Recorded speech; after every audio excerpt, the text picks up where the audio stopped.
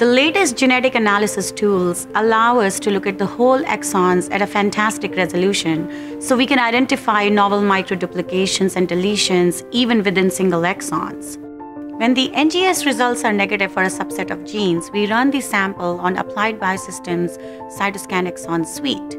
We use the CytoScan XON Suite because there is no other microarray platform with 6.9 million probes covering 26,000 genes.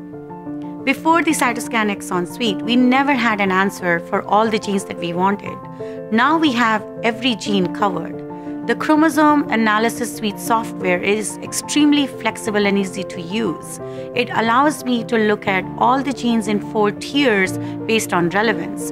With click of a button, I can either look at tier 1 or tier 2 or all the genes on the array platform or even a focused approach to look at a subset of genes and I can also create a BED file on the fly.